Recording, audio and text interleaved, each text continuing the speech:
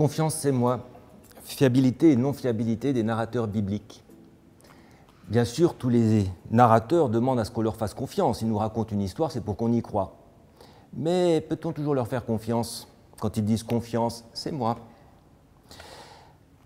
Depuis la naissance du roman moderne, en fait, les auteurs se sont ingéniés à créer des narrateurs peu fiables.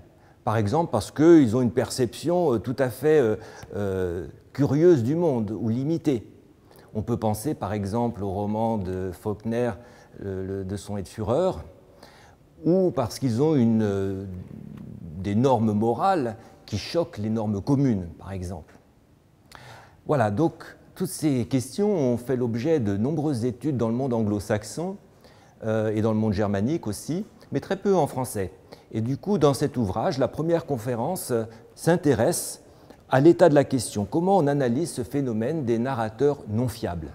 Et c'est Monica Fludernick, professeure à l'université de Freiburg, qui est spécialiste du sujet et qui, euh, ici, euh, met l'état des connaissances à disposition d'un public francophone. Alors, évidemment, cette question, on peut se demander, est-ce qu'il y a des narrateurs euh, bibliques qui seraient non fiables? Évidemment non c'est un, questionnement trop moderne. Mais les narrateurs bibliques, ils sont nés quand même dans une époque où domine la rhétorique. Et euh, eux aussi ont besoin de construire leur crédibilité, leur légitimité, parce que parfois ils vont avancer aussi euh, des normes, des opinions qui ne sont pas les opinions communes. Et ils ont donc besoin, eux aussi, d'asseoir leur légitimité.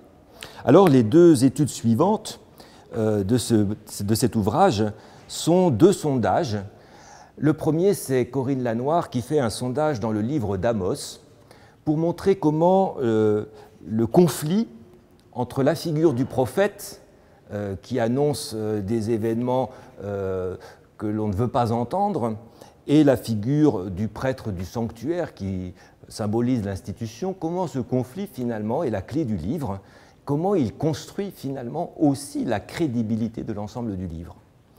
La troisième étude, c'est celle de Guy Bonneau, professeur à l'Université Laval de Québec, qui lui s'intéresse aux narrateurs des évangiles de Luc et de Jean. Et euh, alors bien sûr, euh, on a beaucoup étudié à l'aide des catégories de la rhétorique antique euh, la manière dont des narrateurs construisent leur crédibilité, leur ethos. Mais ici, Guy Bonneau fait œuvre plus originale, puisqu'il va euh, utiliser des, catégories euh, contemporaines pour étudier euh, la manière dont ces narrateurs construisent leur crédibilité. Enfin, la dernière étude est tout à fait passionnante, c'est celle de Michel Berder sur un roman qui s'appelle L'ombre du Galiléen, dans lequel un exégète, Gerd Theissen, s'intéresse à la fiabilité de son propre discours de scientifique au fond, quand il parle du Jésus historique, n'est-il pas aussi en train de donner son propre point de vue? Et du coup, quelle est sa crédibilité? Quelle est sa fiabilité?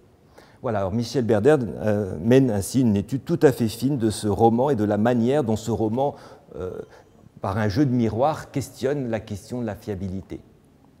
Voilà, toutes ces, quatre euh, contributions sont en fait des conférences qui ont été données dans un symposium du réseau de recherche en narratologie et Bible. Et euh, ce sont ces conférences qu'offre cet ouvrage pour le grand public.